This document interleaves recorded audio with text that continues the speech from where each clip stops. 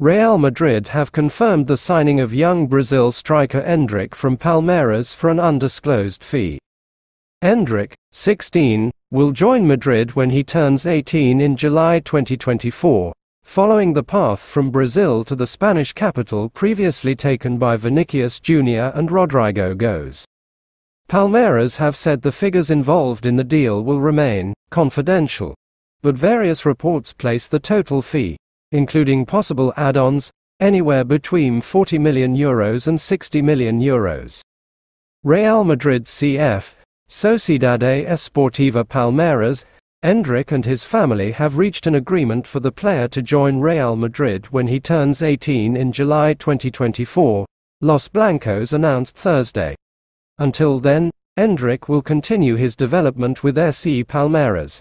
The player will come to Madrid in the coming days to visit the club's facilities.